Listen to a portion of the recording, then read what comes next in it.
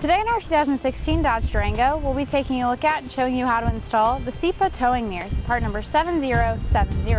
Here at the back of our trailer, you can see in our factory mirror we have perfect visibility to the back, though if I step out to the side, we lose that visibility in our factory mirror but gain it in our towing mirror. This is going to help when driving on the highway when we're trying to pass in a lane or when we're trying to park our trailer. It's going to be fully adjustable so we can change our field of view.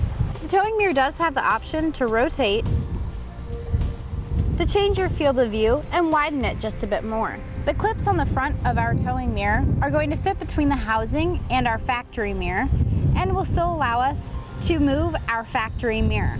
The CIPA towing mirror does allow us to partially fold in our mirror to gain access into those tight spaces. Now that we've gone over some features, we're going to show you how to get this installed. We're going to start by taking our clips and placing them around the housing of our mirror. Now we'll take our straps on the back and secure them to the clips on the top. Then we can tighten up our straps just by pulling, making sure we have a nice secure fit. Now we're ready to adjust our mirror view and hit the road. And that's going to be our completed look at the CIPA towing mirror, part number 7070 on our 2016 Dodge Durango. Click the link below to shop, learn more, or visit us at eTrailer.com.